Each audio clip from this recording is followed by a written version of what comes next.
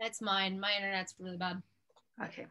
Uh, were you guys like happy with their response for metaprogramming and like what we would use it for? What did Am they I- say? I'm not- I, I remember reading this, but wait, let me.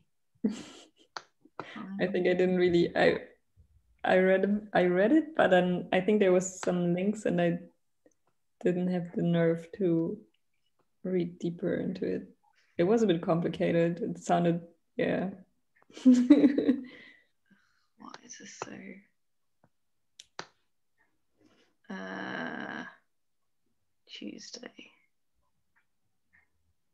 Here we go. Right. Yeah. don't know why my computer goes so slow when we do these, but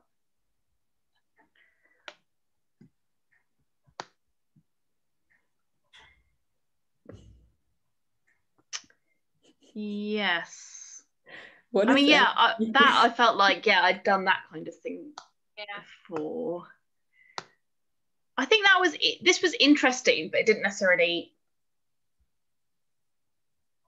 I still didn't necessarily know like what that meant, but okay. So yeah, this is what Kevin's saying is basically the only way that I've used it before. Yeah, Um, with like listing and mapping. But Yeah. we could make our own tidyverse functions too. And Mm. I've maybe used it for like a ggplot, like Mhm, mhm. ggplots. But I was just curious if you guys were like, oh yeah, that clears it up for me because it didn't. I wasn't by everyone's explanation. I wasn't like, oh, there's this huge thing that like I hadn't thought about. I guess. Um yeah. But I guess it's good to feel like it wasn't totally like I wasn't totally missing something, but I'm interested, yeah, I'm kind of interested by like what John said about like it could be helpful for users more than the developers, but I still don't really know about that. But everything else, I was like, yeah, that's kind of how I've used it, or without realizing, or like what I've thought, but without being like, which is a complete slam dunk of a reason to need to know about it. Okay. Well, I will get started with the second half then. Um, yeah, I looked back on this today. I didn't look at the, I haven't looked back at my uh, presentation because I was on a different laptop. So um, I think in the, the kind of the, the kind of section that's very like, here's an example, I might deviate from this and just go to copying stuff into RStudio and we can kind of work through it as if it's like an exercise that we've got the answer to. Uh, still don't like that though, that section. So we'll see when we get to it, if it makes more sense. Uh, Parsing and grammar, I think, is okay. Um, so the definitions here uh, in that parsing is the way in which uh, the language takes, I was going to say parses a string, very unhelpful, takes a string and I would say like how it kind of like interprets it. So therefore like the kind of meaning it ascribes to the various bits. And uh, then it's got a grammar, which is the set of rules of that. Um, so the first bit of this was thinking about operator precedence. Um, and you've got to have conventions over what takes precedence because sometimes there could be ambiguity um, and you might have, if you don't, well, yeah, for obvious reasons. Um, stuff like with arithmetic, which is kind of where a lot of this stuff relates, it's pretty straightforward um, because we use arithmetic elsewhere, so we already are, understand that precedence, uh, or like it's the same as that, so it matches. Um, there are apparently over 30 operators which have 18 different groups of precedence. Um, and I think it was kind of like you can find details of these if you have one that you're particularly interested in or that you're using. But or you know, it's unlike, you know, it's not really practical to just like memorize all of them. Um, and so really the best way to make sure things are happening in the way that you want, if there's any kind of possibility of ambiguity, then you just want to use brackets. Associativity, which is a bit of a, a tricky word. Okay, so sometimes you have the same operator used twice. Uh, like the example it was giving was a lot of stuff like, um, you know, your arithmetic kind of stuff. So you have one plus two plus three, etc. And often that doesn't matter which order you do them in. Um, but firstly, you still need an order to do it in because you still need to like have stuff happen in a certain order. Um, but also it matters because like it's not always straightforward. So for example, uh, there was this discussion about how the plus sign can be used in a non-associative way, which means, for example, with ggplot, you get, uh, when there's a plus, that means that the next bit of the ggplot gets, that it's kind of layered on top. Um, and that means the earlier layers ultimately end up beneath the kind of ones that come later. So it does matter the order in which they go because it can be different if you switch them round. And so therefore, the kind of rule of thumb is that most operators are left associative, which means that if you have operations on the left, uh, they would be evaluated first. Um, but the exception, there are two exceptions to that, uh, which are exponentiation. Um, so if you had like two to the power of three to the power of two, then you'd do the three to the power of two first, so you knew what the two was to the power of. Shouldn't have used the same numbers in that example, but you understand. And assignment, because you do the stuff that is getting assigned first, so that you know what's getting assigned, and then you assign it to the left. So it's the other way around. Okay, parsing. So it's possible to uh, parse expressions that are kind of stored in strings, um, which this was actually, this was something which I felt like I had done before, although it does say in this section, like if you find yourself doing this a lot, then sort yourself out. Um, so maybe that's not ideal. It was actually, I don't think it was in R, I think it was in Python that I was doing something similar to this. But anyway, sometimes you have code that gets stored in strings for some reason. Um, and so then you can use the rlang function parse_expr. Uh, so here, for example, you can put, yeah, so you've got x1 is this string, but that just remains as a string if you just assign it. Uh, but yeah, and so if you're like, is it a cool object? And it is not. But if you then pass that, which is this, then you get this, which no longer has this little stringies around it, and it's a call. Very exciting. Okay, there are loads of exercises. I'm almost sure I didn't do all these exercises. Okay.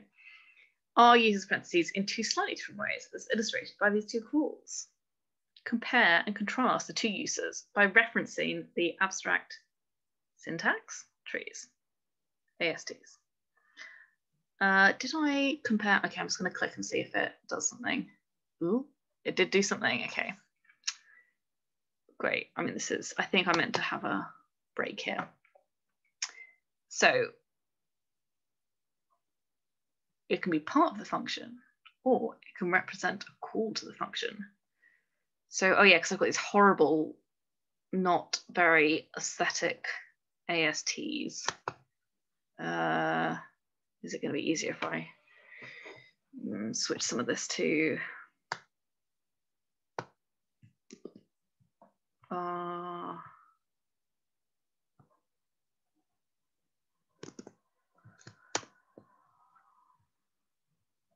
I mean, it's marginally better. I don't know.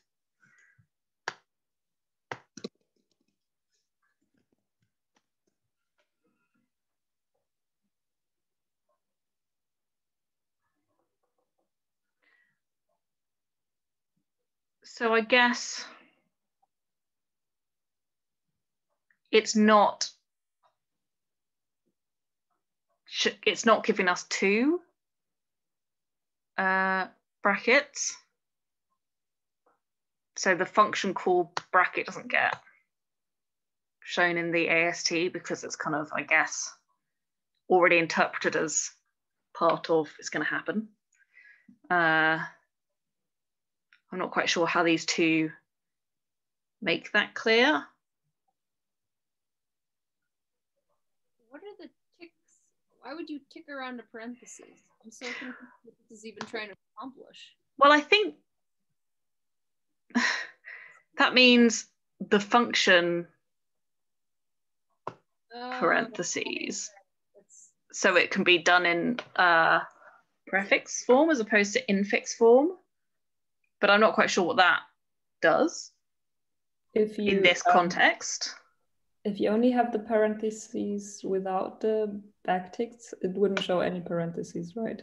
Okay, so if I did that,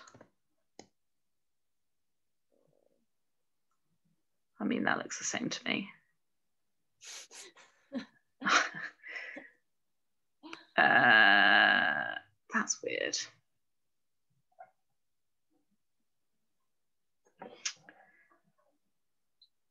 Bracket, bracket. Maybe, okay. Okay, so maybe when you have backtick, backtick, that is a function. So like this is a function f, Yeah. and this is the function thingy thing Yeah. bracket. So because it's a function, but then wouldn't you still name the function? Because then this is saying, and then there's brackets around these guys. But you'd surely wouldn't you still name it? But then maybe you don't because it is just it is the function that is fu- function, as in part of a function. Don't love that. Uh, what if I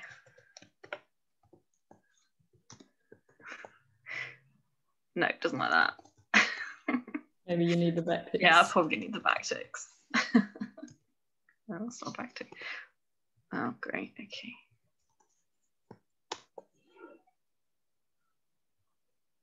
It's a primitive function. Semantically equivalent to the identity function x. Whereas this is slightly more interesting. I mean, it's not interest that I'm looking for here. Okay. Well, yeah, so it's like a function, it's a primitive function. But so I guess like it's it because it's part of every function, it's excessive to show it. Mm. But so here it's kind of been isolated, but because it still is ultimately we're calling this function, which is the same as this little bracket thing, it's not showing it. Oh, okay. I feel better. I feel that's a, a specific example, a very specific thing. I guess maybe it's like don't freak out if you don't see brackets for every bracket. Okay, equals can also be used in two ways. Construct a simple example that shows both uses. I think I thought it could be used in more than two ways, but um, we went with two. Uh, I think I looked at the, in fact, I think I looked at the solutions because I was like, I think I can think of more than two. But okay, so these example equals, okay, right, that's the example location. Right, okay. Didn't didn't mess around with any description here. So I guess I thought equals, you've got an argument equals, and you've got an equals assignment equals which is what it said in the solutions. I don't know if they had an example that looked exactly like this, but they had. Those were the two that it said. I mean, I guess I also thought, which maybe is different, a different kind of thing, but I was thinking about like how you also have like is equivalent to kind of equals, like when you've got two equalses, Oh, mm, I also thought about that. which I thought was probably more used than like this equals, this kind of assignment equals. Yeah. But um but, but also i don't know how. Is this interesting? I guess it's just telling you there are multiple that some signs have multiple things going on. It's kind of a lot of this section is just like overthinking things, I think, but I guess maybe that's part of advanced stuff. Okay, does minus two to the power of two in specifically in code here yield four or minus four? Why? My immediate assumption is four, but am I wrong? Yeah, I think I think you're wrong. yeah. yeah, it was that it. This is one of the exceptions where it starts from the right. Uh, yeah, so it, it does two to the power of two because yeah. it's doing this first and then it does minus, which is obviously not ideal. So you might, this is where you might need to brackets if you want to have a minus number.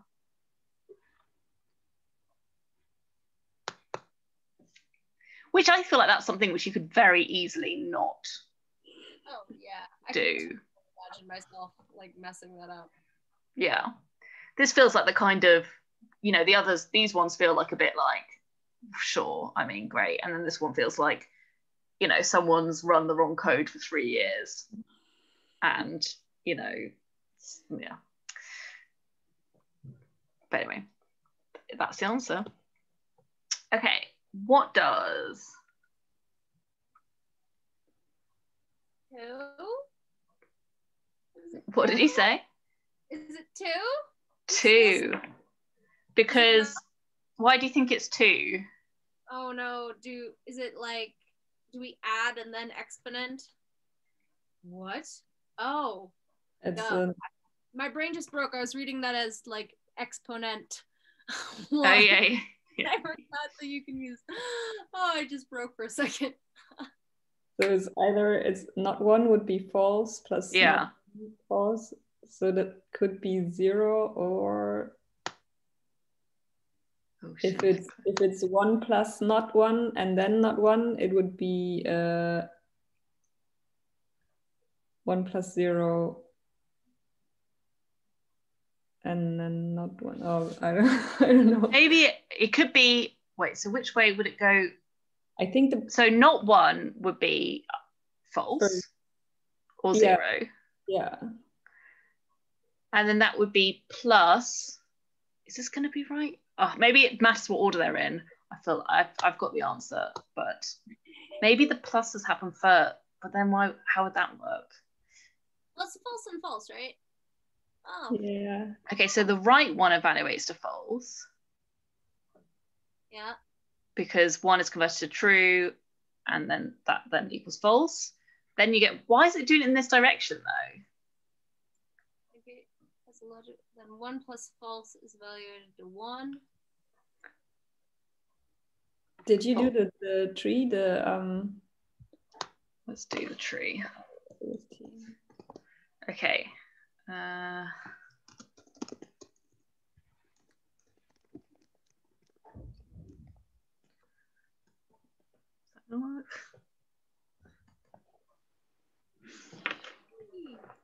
Not plus one so yeah, so it's doing from the right, right? Yeah. Not one plus one, and then the whole thing. And the whole thing. Yeah. But I don't fully understand why it's going that direction. Because I thought they went left to right. Yeah. Maybe it's a maybe I should do whatever it said, syntax or something. Maybe negation happens in a weird way. From left to right, except where indicated. Well, I would argue.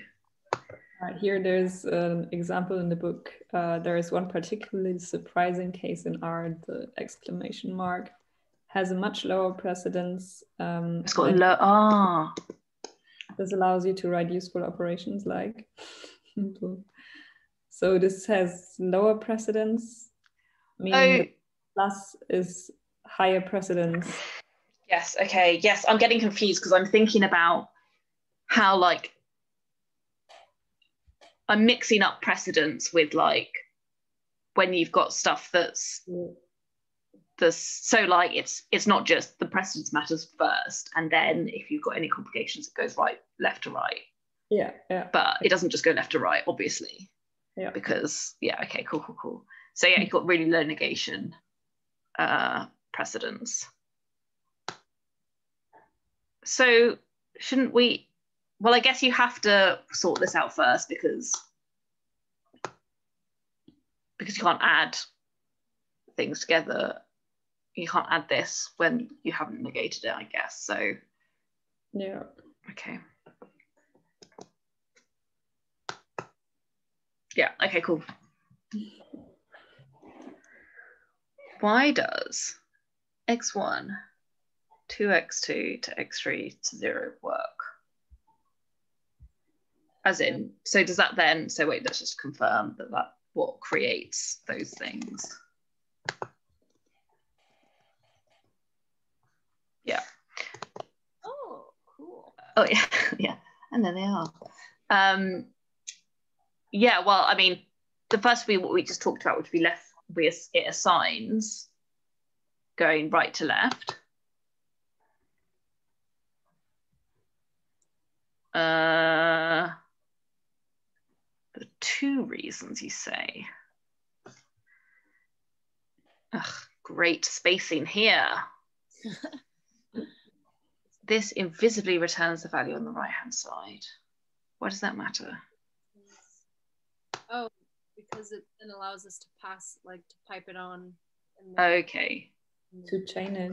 right direction. Yep. Huh. Okay, well that's fun and useful question mark. Compare the ASTs of this and this. What have you learnt? Okay, what's the difference between these? Oh, plus and yeah, this ah, yeah, I don't know whether I fully cared about this. Oh wait, what is the this percentage plus again? Uh,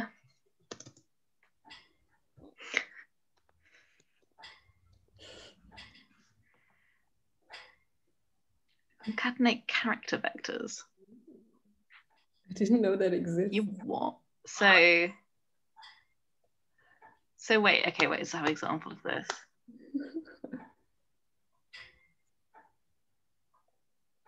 okay. So wait. So wait. I'm just gonna run this. But then, actually, I can't run this really, can I? Because it didn't exist.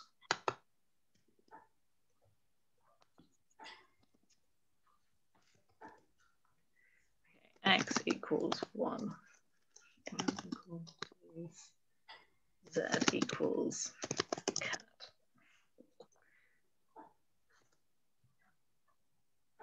Hmm, that's a shame. It didn't work either, by the way, on my computer. It just gave me null. uh-huh. It says it's in crayon. Sure. Uh, okay. Well, I don't know if this is going to be that helpful. Just doing this again.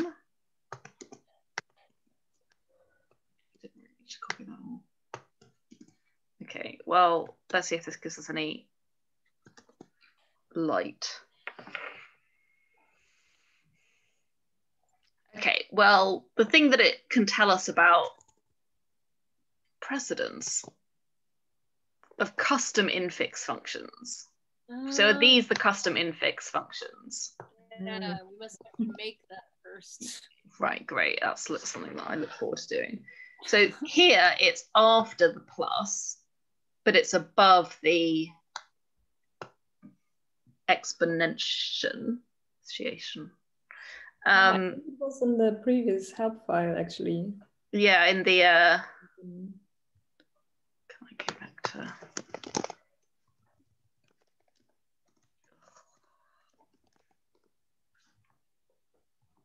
Going back to syntax again. Did it have Yeah, the here any special operators? So it also has Oh, uh, okay, that's interesting. I wondered whether it would be like um, which it isn't.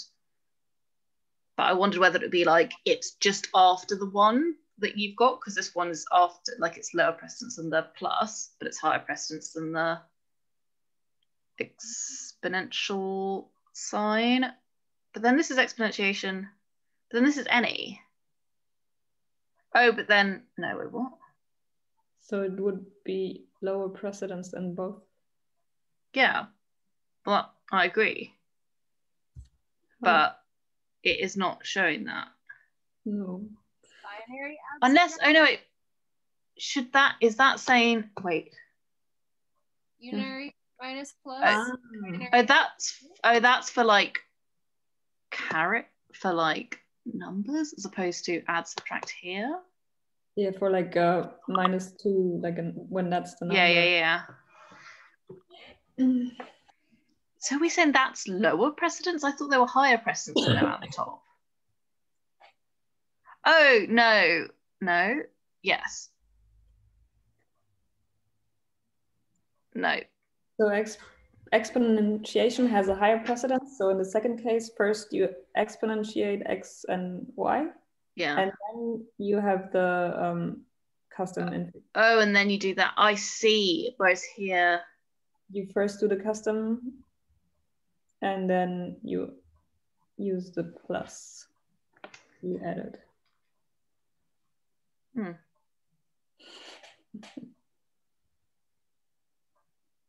So it? Yeah. Right, I see. Yep. Okay.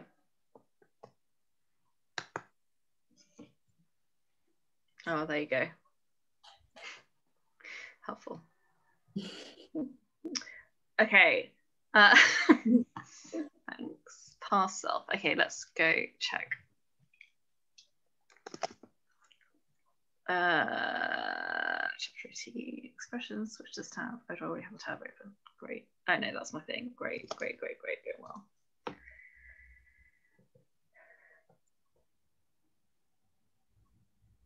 Uh, expressions.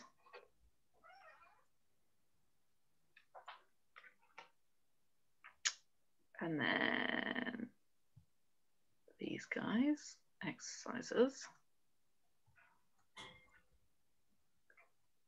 Oh my god, there were so many exercises. I'm slightly well, okay. Are there any of these exercises that people are keen to check out now? Because I'm aware that we are halfway through now and we still got to do the other other sections. I think the seven was easy because there's another uh, function Yeah. as express if you use more than one. Yeah, yep. Mm. Yes, that's that's just you add the. Percentage expression. Okay, well, we can always circle back round if we feel like we need more exercises. Yeah. Um, okay, walking this with recursive functions. Okay, I'm going to see how well my presentation does this, probably not very well, and then we can go just copy them to RStudio if it's easier. Um, okay, so what we were kind of trying to do here was uh, semi-replicate these kind of functions, um, which kind of offered an interesting example or just examples of kind of recursion when you need to use recursion in your functions.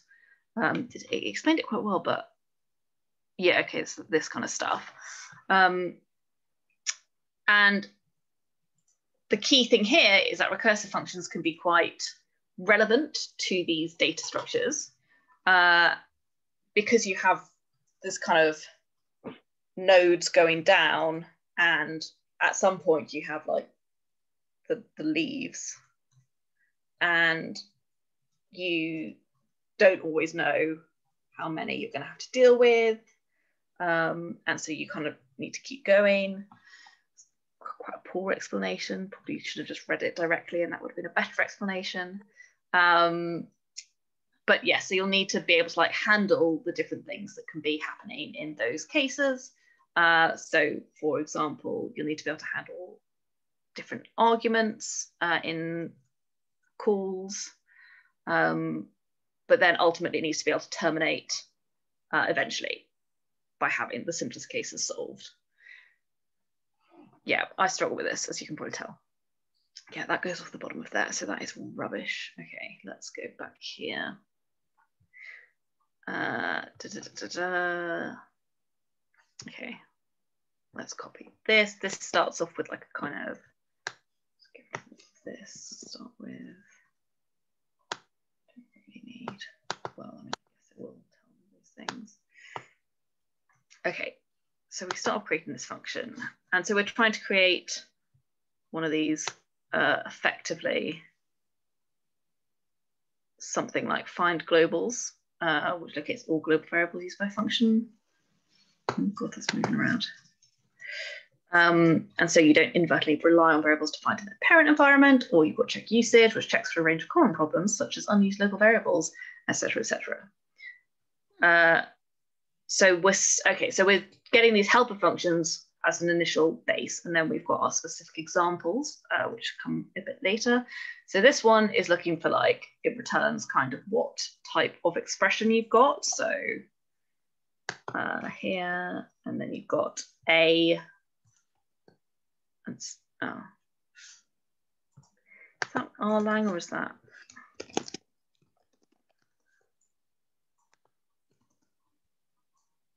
yeah. And you've got your symbol and you've got your call, this little function, for example. Okay, so I think that's, that's kind of straightforward enough function. Uh, then we go down and we've got a wrapper function. So then this gives you, you can use your function that you just created and then it will tell you if it doesn't know how to handle, it kind of gives you an error if it's got a type that it doesn't know about. That in there as well. So then you can write this template which walks through the tree using switch. So recurse call, you've got your function, you've got your expression that you just used, and then you can have your cases that you know about. Okay, and then you'll want to kind of expand on that. Um, so we're going to do this one, which is finding F and T, which the concept behind this is that you don't, well, you can use T and F uh, in many cases to represent true and false, but it's considered poor coding practice. So we want to return true if the input contains a logical abbreviation, which is a bit, I feel like I made that's already kind of like it's true if something's T. Um, so let's find the, so this shows the type of T versus true, which I mean, I can just read here, which is kind of like you might expect, which is true is a constant because it is true and true represents true whereas here T is a symbol because it's kind of representing true as well. So they'd be passed differently. Uh, so you have true is passed a logical vector, uh, and T is a name. Uh, so that then gives us this function. So as string. So it's a symbol if it's this. Yep, okay. Let's see how that works.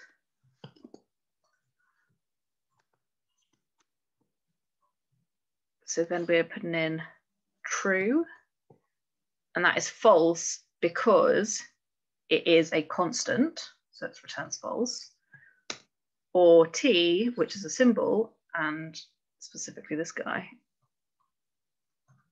So it returns true, I guess as string x in. Sure. Uh, so this has been kind of uh, common to write wrappers that provide defaults. Um, so you'll make a wrapper that quotes input. So we don't need to use expr each time. Okay, yeah, because that's a bit of a pain. So yeah, so you don't have to do logical with the expr. So let's change, that's wrap that around that. But I mean, yeah, don't need to do that again. So that does the same thing, that you don't need the extra in, in it. Okay, so now we need to do the recursive cases. So for calls and for pair lists, we're doing the same thing. So we apply the function to each subcomponent. And if any subcomponent contains logical abbreviation, we return true. And we're using sum, which iterates over a list. Uh, as opposed to, yeah, like any and all, I guess.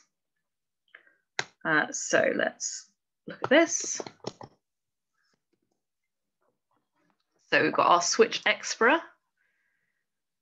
Uh, and then we've got our pair list, which goes over, so this is, yeah, recursive now. And so if any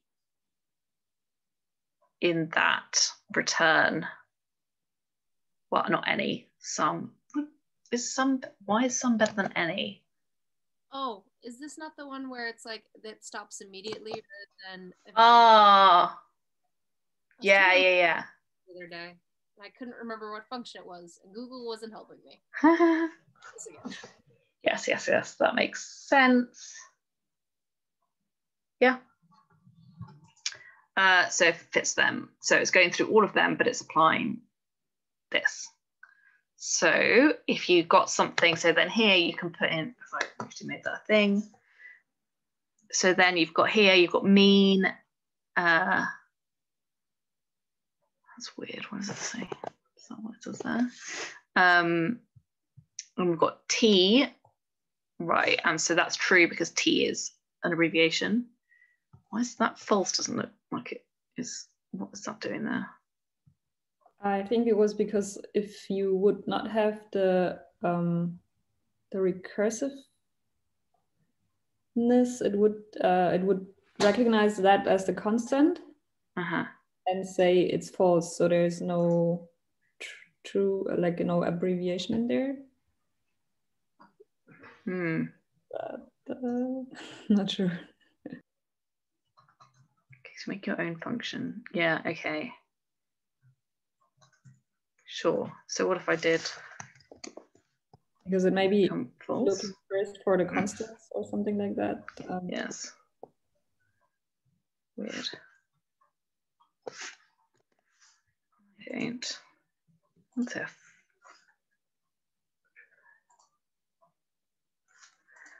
Okay.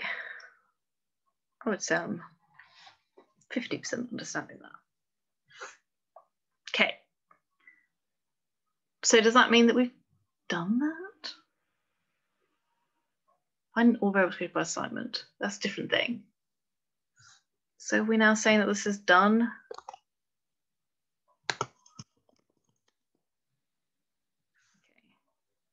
Well, I guess it's going through, if the point is to find it in arguments,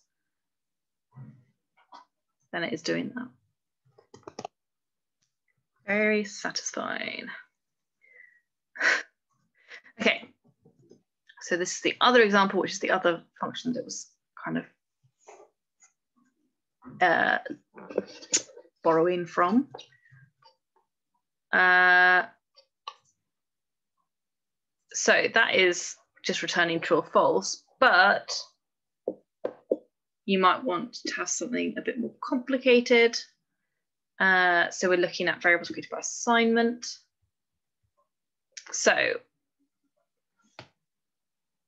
this is helpful because this tells us that the first thing is going to be the assignment function, effectively, the symbol.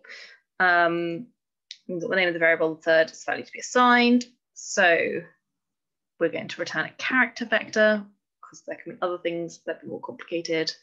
Um, so we can implement the base cases like we did last time and get a wrapper around the recursive function. So let's see what that looks like.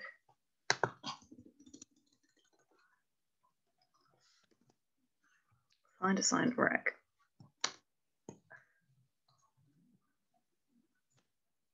And that's, this is around that because that means that we don't have to keep doing this every time. I mean, highly exciting. We've we got an X? Yeah, we do have an X, okay. Um, so we've again got purrr going on here. Made easy a function that should exist, but currently doesn't. Great. Um, so this new function expects this argument to return a character vector of arbitrary length that flattens or results into a single character vector. So if you have like 3G, these letters ABC and repeated at random, then it'll flatten them into a single character vector where they look like that. Okay, right. So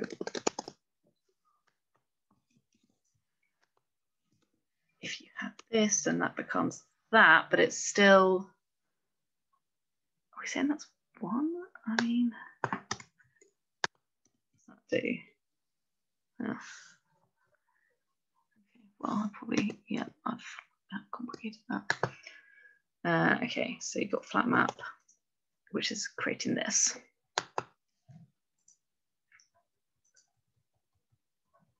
So, oh my god, it's so long. I mean, did we learn about?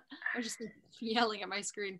Um, did we learn about flatten when we did the functionals chapters? I feel like I, I hadn't seen it before, but this seems quite quite lovely. Like unlist, but easier. Making longer vectors. Oh.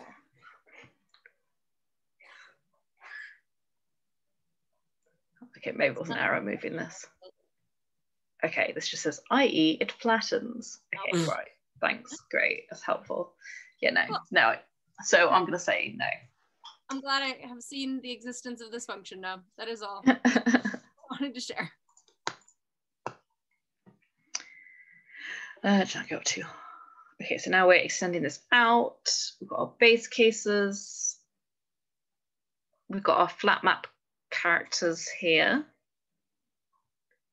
We've got something going on here. The call, if is call, so if it is this, then we want as string the second bit of this, which is going to be the symbol or else we continue or flatten it in some way. Is that one? So, because if we did this, so then it's telling us that A, because it's found out that A is the that part of the is the second bit of this functional call. Uh, find assign, or you can do this. Oh, so does it do, oh, and then it can do multiple ones because it's recursive. So then it, yeah, flattens them out as well. So that you get both in your list. Okay, that's clever. Ah, ugh, all the way back there, did it?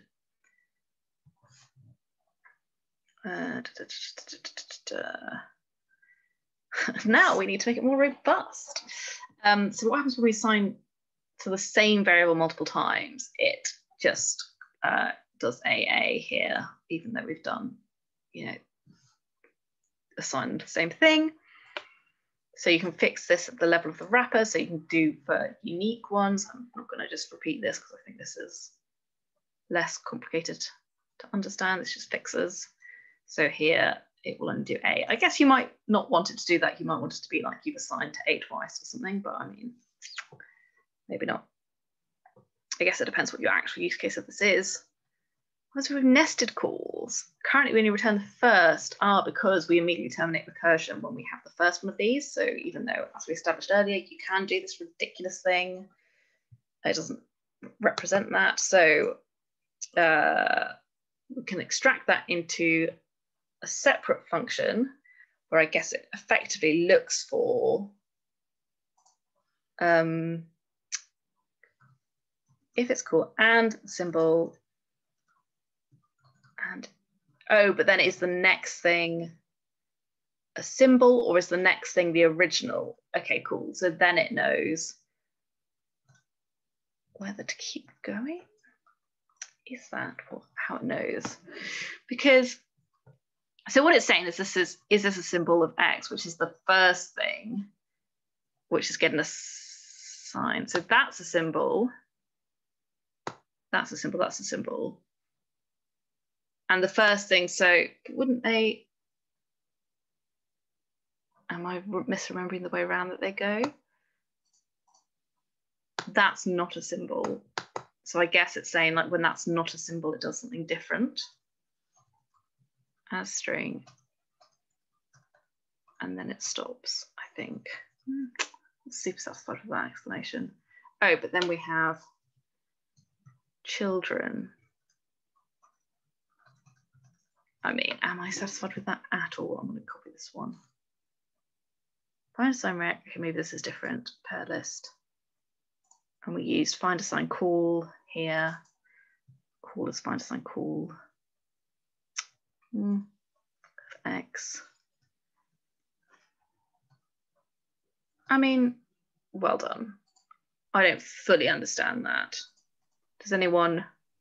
Yeah, so we're always splitting it into two. Our left hand side, which is oh, yeah, right, okay.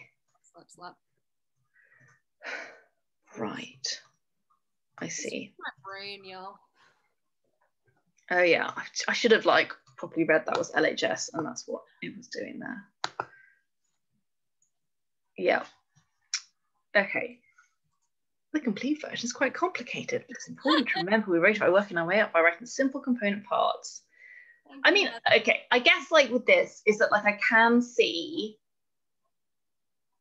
like it's kind of difficult because like I don't know if it's just laziness on my part, but there is to some extent because he's written it out, I'm just quite reliant on it being that's the way to do it. And yeah. I feel like that in some ways makes it harder to get it to go in. Um, whereas if I had a kind of again real use case I was trying to work out, like I, I think I'd be able to work it out. It's just that trying to understand the reasons that someone else has done stuff is sometimes more complicated. But I think for this, I kind of understand why you would use it. Like, like if you have you write a huge function or something, mm. and to test if the if the um, the things like the the symbols you assign something to are already given, and you would overwrite them. Mm. So like like a testing function. Yeah. Yeah, definitely like it's all which i guess makes i guess that is like ultimately what a lot of this stuff's about it's about kind of making the way that you do stuff like more rigorous and more kind of like error proof although i don't know if that's quite going to be true if you're doing stuff that's more complicated might help you to introduce errors but yeah um I'm gonna.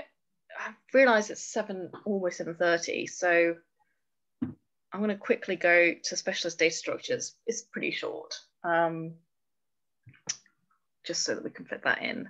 And I feel like exercises we've done quite a lot of them. Uh, so just these are kind of like notes really in terms of things to be aware of. Uh, so pair lists, um, they when you work within calls to the function function, uh, the formal arguments are stored in a pair list. And the key here is that you can treat it like a list, which is cool and means I'm I'm not that surprised by that. So mm, missing arguments. The empty symbol is used to represent missing arguments. And broadly speaking, therefore, you just need to care about it if you're creating functions programmatically with missing arguments. So you can make an empty symbol in these ways. You can use missing arg or expr and it doesn't print anything. And so there's a way to check if you have one with rlang is missing. And the main way that this is important is if you have the dot dot dot stuff, which you have in functions when you have like various arguments passed in, and that's always associated with an empty symbol. Oh, it's got a name. It's not just dot dot dot. I mean, yeah, so I did like tilde. Gilda. Uh, oh yeah, here's another one that behaves like lists. Expression vectors are only produced by two base functions and they behave like lists. Great. Those expression and parse. Um, yeah, okay, I think we kind of like run out of time. But yeah, I feel I wouldn't say I feel like like some of this feels like pretty complicated, but also I feel like a lot of it is just a case of like understanding the very very fine detail and when you actually get to it it makes sense. Like i think a lot of the parsing grammar stuff makes sense and the trees and looking at the order of stuff makes sense. Um, and so once that makes sense and i think like applying it will be okay. Um, but i do say that with the uh, understanding that i don't wouldn't say like i would want to teach a class on this confidently. So I kind of was scooting ahead, like clicking through chapters. Um, Mhm. And if you look at the first like paragraph of chapter 21, translating R code, there Mhm. is to me a very clear, perfect use case that I wish he had started motivating this whole section off with. Oh, really? Yes, like, what if you want to translate R code into SQL? Right, sure. Yep. I can see that idea. A great use case, and I am motivated to want to understand how one could do that. I wish he'd started with this because this I'm like, okay, yes, I can understand why we need to know all of this crap so that we can do something like this. That makes sense to me. Yeah. Yeah, that's cool. That'll be Yeah. fun. That'll be fun. Once I mean, he doesn't actually do SQL. It looks like we're doing HTML and LaTeX. Um, Okay, but fine. I feel motivated. And then you can do SQL. Man, I was just gonna start having to do a SQL project, and I was like, "Oh, look at this! I don't have to actually learn SQL. I'll just type in the code. I can put it on my CV. Yes, I know SQL." yeah. oh, look, our next chapter has